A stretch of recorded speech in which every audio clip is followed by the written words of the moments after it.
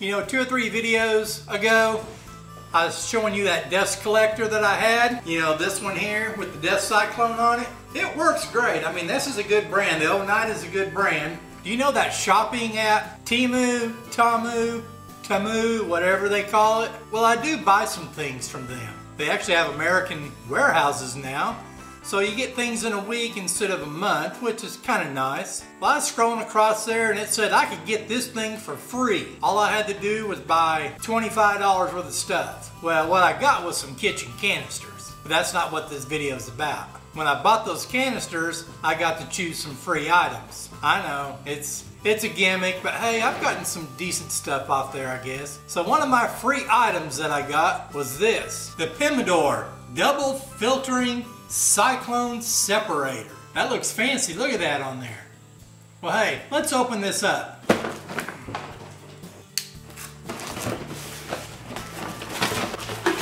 So this is what you get. It's got instructions. Does that make sense? At least they gave me a little diagram right there so I can cut the hole for this part here.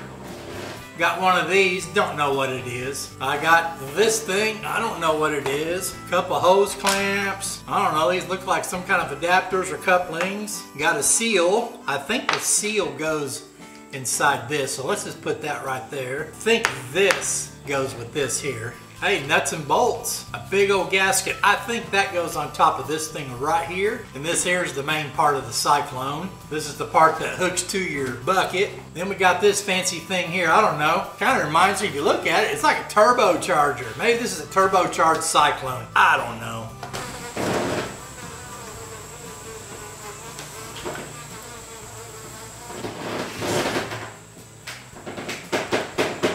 In that last video, I was trying to find something? Well, I went out and bought another one. What's different about this kind of lid is it's a screw top lid. See, I can screw it out, then I can see you. Well, these Cyclone things, they're made to go on the lid.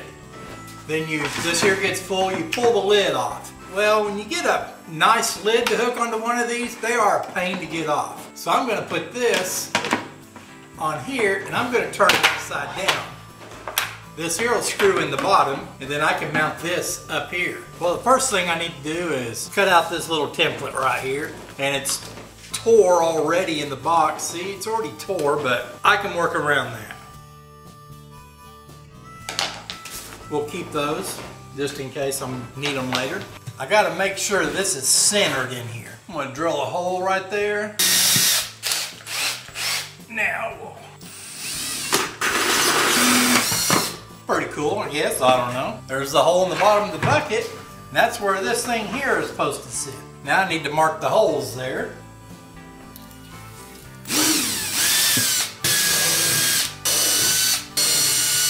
What you want to achieve, I guess, is that right there. The big hole and four small holes. I was trying to figure out how am I going to find the holes to mount in this gasket right here. Then I discovered, if you can see it right there, I don't know if that'll show up, but they already got little holes cut out in this. So you just remove that out of there, and just like that, I got four holes. There you go, you can kind of see them. The Oneida didn't come with it. Okay, so now, we gotta mount these four screws in here. Put you on there. Let's go ahead and put you around there.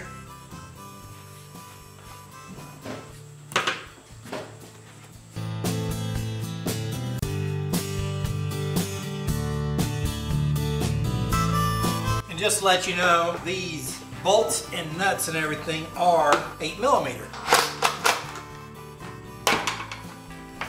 And this is what you want, I guess. Kind of like the other one. I really don't like the way that's wobbly, but it's stronger than the lids that are normally on these. Okay, I'm gonna look at the picture here. So we got this right here, okay? And then looks like this goes on top of that. It's what it looks like. This here is supposed to go on here.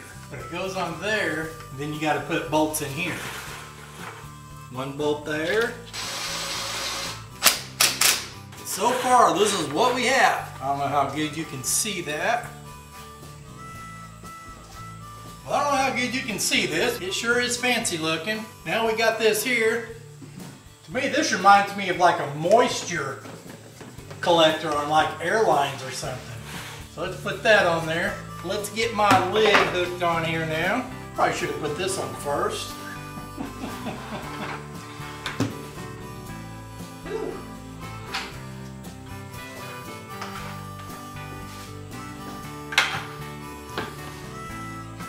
That's what I'm talking about. Having to always empty this and pulling that hard lid out of there?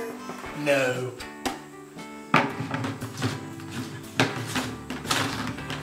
That'll screw in there like that. So just follow the directions on the deal. It's going to be trial and error because they don't give you really precise instructions. You just kind of look at the diagrams and go by there. But this is what it looks like when it's done. Let me get my shop vac out and get it hooked up and we'll try this out. Well, I forgot to hit record. It was pretty cake. This was all pretty solid, but I got it all blown out, but I will be buying a new one of these. I've had this thing for about four years and I got it used. It probably needs a new one. Let's get this back together. Now I'm gonna have to figure out how to hook the hose up from my shop vac to this new dust collector. Well, I Got it hooked up the best I could. My hose actually fit on the top and my hose fit on right here. I use a two inch coupling system so I have a hose like this here that hooks to like the table saw or whatever and then I just plug it into here then I turn the suction on and it works. Let's turn this on and see if it's gonna work. Let's see here. Let me pretty cool. Whoa.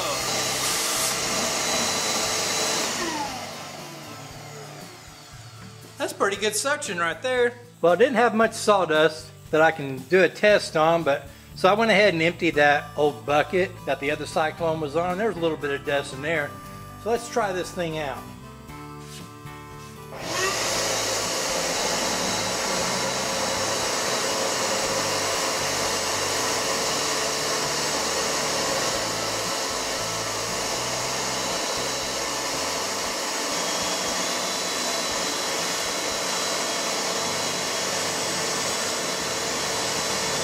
Guess that's what that little clear thing for is to collect the fine dust. I don't know. But I can tell you one thing. I don't know how good you can see that there, but you don't want the suction to get closed up because it will pull the sides of the bucket in. And let's see how much dust is in this bucket right here. Okay. Well, let's see. Try to hold this up.